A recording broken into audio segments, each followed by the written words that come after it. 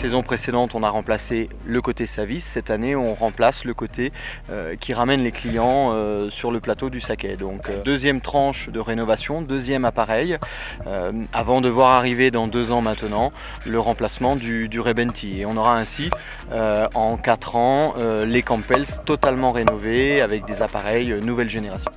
On n'investit plus uniquement dans les remontées mécaniques comme on pouvait le faire à l'époque. Euh, il y a encore euh, une dizaine, quinzaine d'années, on faisait les choses un petit peu étape par étape. Maintenant, quand on achète une remontée mécanique, forcément, il faut la sécuriser. Donc c'est ce qu'on fait cette année. Là, de nouveau, on a une tranche encore de 400 000 euros euh, qui sont investis dans la neige de culture à travers la station.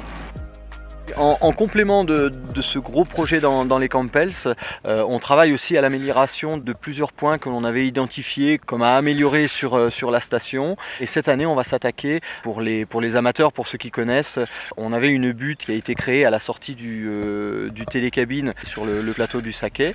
Donc cette butte de terre va être complètement retravaillée, remodelée et on va installer un télécorde qui n'aura pas vocation à créer une nouvelle piste débutant, mais ce sera un télécorde pour ben, pour améliorer cette liaison où il fallait parfois patiner ou pousser un petit peu les, euh, skieurs débutants. Là on aura juste à s'accrocher à ce télécorde et puis euh, on passera sans difficulté.